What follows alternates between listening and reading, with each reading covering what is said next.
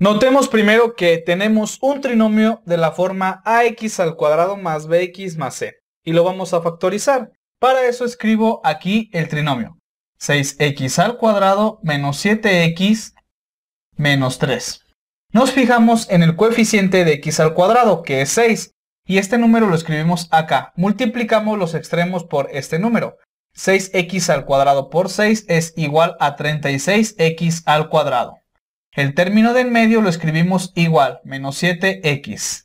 Ahora, 6 por menos 3 es igual a menos 18. Ahora abrimos dos paréntesis que van a estar multiplicándose entre sí. Raíz cuadrada de 36x al cuadrado, primero, raíz cuadrada de 36 es 6, raíz cuadrada de x al cuadrado es x. Es decir, 6x es la raíz cuadrada de este término. Y lo escribimos aquí y también acá. Ahora multiplicamos los signos. El signo de este término, como no se ve, indica que es positivo. Más por menos es menos, lo escribimos aquí. Menos por menos es más y lo escribimos acá. Ahora buscamos dos números que multiplicados nos den menos 18 y esos mismos dos números sumados o restados me deben de dar menos 7. Esos números son menos 9 y más 2. Vamos a comprobar. Menos por más es menos, 9 por 2 es 18. Menos 9 más 2 es igual a menos 7. Quiere decir que nuestra factorización es correcta. Después, nos fijamos en el número que al inicio multiplicamos, que fue el 6. Ahora estos dos factores vamos a dividirlos por este número. Y aquí lo tenemos. Ahora, alguno de estos dos paréntesis se puede dividir entre 6 y que nos salgan enteros, ninguno cumple esta condición. Pero el 6 lo podemos descomponer como 3 por 2. Y si notan, ahora sí podemos separar cada factor. 6x menos 9 lo podemos dividir entre 3, al igual que 6x más 2 entre 2 y nos salen enteros. Vamos a realizarlo. 6x entre 3 es igual a 2x. Menos 9 entre 3 es igual a 3. Cerramos el paréntesis. Abrimos otro. 6x entre 2 es igual a 3x. Más 2 entre 2 es igual a 1. Y esto que tenemos aquí es la factorización de este trinomio. Seguimos. Y vamos a realizar esta desigualdad por el método de casos. El primer caso. Para que esta multiplicación sea menor que 0, es por lo siguiente. El primer factor es positivo y el otro negativo. Más por menos es menos. Y los números negativos son menores que 0. Entonces tenemos. Caso 1. 2x menos 3, que es el primer factor, es positivo, es decir, es mayor que 0. Pero en nuestra desigualdad nos pide también el igual, entonces es mayor o igual que 0 y de esta desigualdad despejamos la variable x. Vamos a dejar del lado izquierdo de esta desigualdad el término con la variable x. Entonces tenemos 2x es mayor o igual que el menos 3 está restando. Al momento de pasarlo al lado derecho de la desigualdad pasa realizando la operación opuesta que es la suma. Entonces tenemos 3. Ahora, el 2 está multiplicando a la x. Al momento de pasar este número al lado derecho pasa realizando la operación opuesta que es la división. Entonces tenemos del lado izquierdo a la x mayor o igual que 3 entre 2. Como este 2 es un número positivo, la desigualdad se conserva igual. Seguimos. Ahora el segundo factor, que es 3x más 1 que es negativo, es decir, es menor que 0. De igual manera, en nuestra desigualdad nos pide también la igualdad, entonces es menor o igual que 0. Y de igual manera vamos a despejar la variable x. Del lado izquierdo dejamos el término con la variable x. Tenemos 3x es menor o igual que el 1 es positivo, es decir, está sumando. Al momento de pasarlo al lado derecho pasa restando.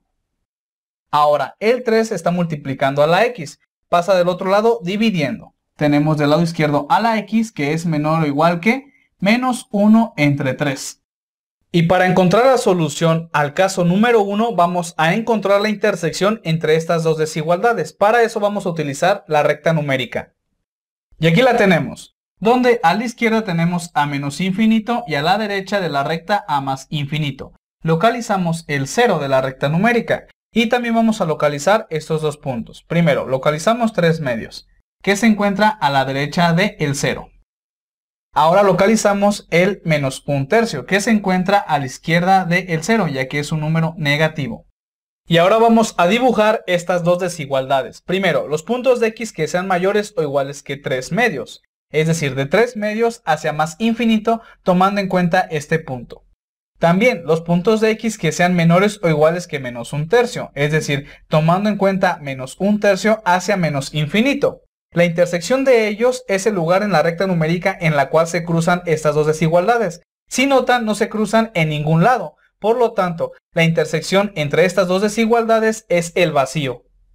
Entonces, en el caso 1 tenemos x pertenece al conjunto vacío y lo denotamos con el siguiente símbolo. Ahora, para el caso número 2, el primer paréntesis debe de ser negativo y el segundo paréntesis positivo. Entonces tenemos caso número 2. El primer paréntesis, es decir, 2x menos 3, es negativo, es decir, es menor que 0. Pero en nuestra desigualdad nos piden la igualdad también, entonces ponemos menor o igual que 0 y despejamos la variable x. Del lado izquierdo dejamos al término con la variable x, es decir 2x, es menor o igual que menos 3 al momento de pasarlo al lado derecho pasa realizando la operación opuesta que es la suma. Ahora el 2 multiplica la x, como multiplica pasa dividiendo, tenemos x es menor o igual que 3 entre 2. Como el 2 es un número positivo, la desigualdad se conserva igual. Ahora en el segundo paréntesis tenemos 3x más 1 que es positivo, es decir, es mayor que 0. Pero nos pide la igualdad, entonces es mayor o igual que 0. Y despejamos la variable x. Del lado izquierdo dejamos a este término que tiene esta variable. Es mayor o igual que. El 1 es positivo, pasa restando. Ahora el 3 multiplica la x, pasa dividiendo. Tenemos menos un tercio. Como el 3 es un número positivo, la desigualdad se conserva igual. Ahora, estas dos desigualdades las vamos a localizar en la recta numérica. Y aquí la tenemos, en donde en la izquierda tenemos a menos infinito y a la derecha a más infinito. Localizamos el número 0. Y también localizamos estos dos puntos, 3 medios, como es positivo, se encuentra a la derecha del 0.